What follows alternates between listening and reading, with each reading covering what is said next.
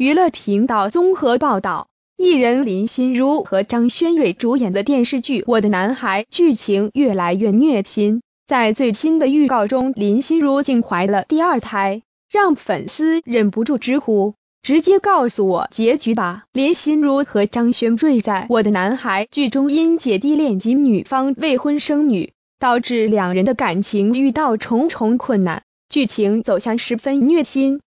在最新一集的预告中，只见张轩瑞看到李李仁和挺住牛肚的林心如一起走出家门，心碎的问：“你们结婚了？”此画面一播出，吸引许多网友在粉丝团热烈讨论。天啊，